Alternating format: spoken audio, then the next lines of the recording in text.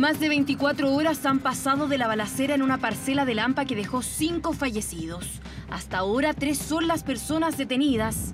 ¿Pero quién o quiénes dispararon?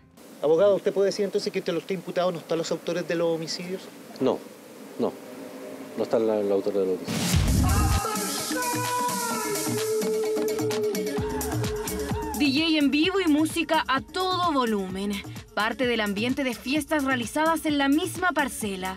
Existen pocas respuestas en torno al caso, pero una cosa es clara. Que se encontraba un grupo de personas acá, estaban en una fiesta y eh, por motivos que se desconocen comienza esta balacera, muchas personas se van del lugar. Sí, como antecedente importante es que se baraja la hipótesis de un ataque con armas de fuego a estas cinco personas cuando estaban en una celebración.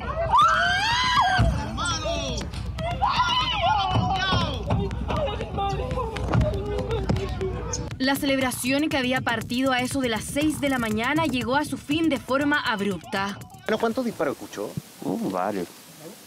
¿Más de 10? ¿Más de 20? Sí, más o menos. Cuando sentí los disparos arranqué nomás 10 personas iban arrancando por todos lados para allá.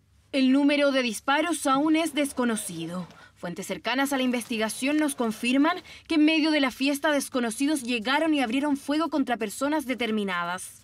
La declaración de uno de los detenidos es clave. El, el tema que habría eh, venta de drogas al interior y que eh, no se podía realizar ese tipo de actividad de venta de drogas al interior y, sur, y surge en ese momento la pelea y aparentemente sacan armas de fuego personas y se, se transan en, un, en una balacera. La llamada al 133 alertó que algo ocurría. Con el pasar de las horas, amigos, familiares y conocidos llegaron a corroborar si entre las víctimas fatales se encontraba su ser querido.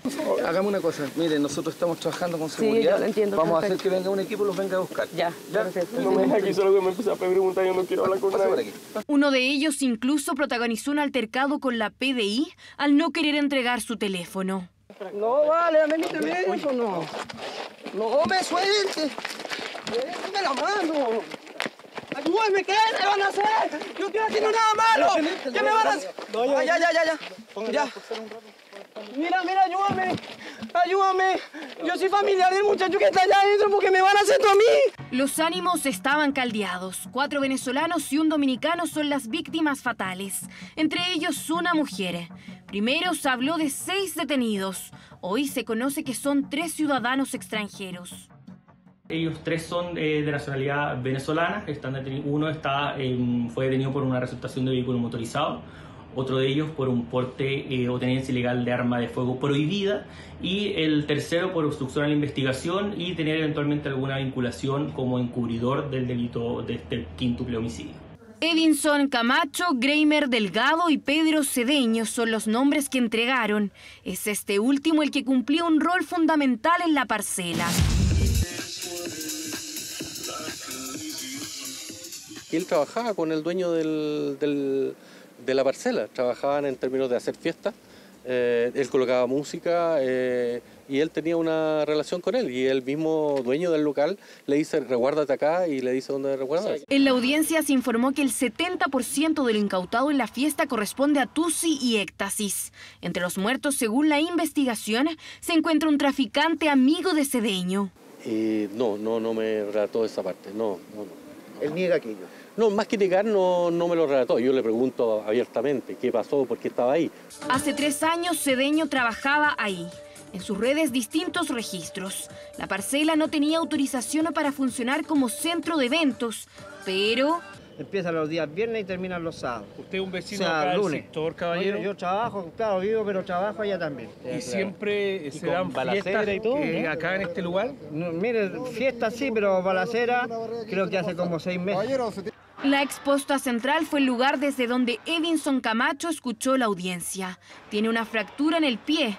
La fiscalía asegura que en su poder se encontró un arma con el número de serie borrado. Esa arma se encontraba alejada en un, bajo un tablón y eh, ahí surgió la duda, digamos, en definitiva él me dijo, yo no usaba armas, no tenía armas y me están atribuyendo esto, entonces por eso la defensa levantó, digamos, de que no se le podía atribuir ese delito toda vez que no se le... eh, no, no tenía esa arma entre sus ropas. Grimer Delgado completa la lista de detenidos. Por el delito de receptación, tenía un auto con encargo por robo. Hasta ahora se desconoce si alguno de los tres imputados tuvo una participación activa durante el tiroteo. ¿Había ocurrido un hecho así al interior de esta parcela anteriormente? Nunca, nunca, nunca, nunca. ¿O Yo de llevo- lugares cercanos a este punto? no, yo llevo dos años trabajando aquí y nunca ha pasado nada. El hermetismo en la investigación se instauró desde el minuto uno. Algunos de los familiares entraron de esta forma, para que no pudieran ser captados por los medios. ¿Qué pudieron ver adentro? ¿De qué se trata esto? Sin comentario, sin comentario, ¿eh? Lo que una vez fue un lugar de diversión, así luce hoy.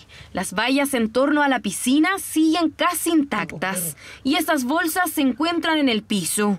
Vestigios de un día que ha marcado el debate sobre la seguridad en el país. Contamos con una única comisaría que atiende a dos comunas, la de Tiltil y la de Lampa, con más de 1.100 kilómetros cuadrados de territorio, por tanto es muy complejo hoy día poder atender, si ocurre en paralelo un evento delictual en la comuna de Tiltil y de Lampa, el tránsito mínimo va a ser de 45 minutos y por tanto por eso es que estamos levantando la necesidad de una nueva unidad policial en nuestra comuna.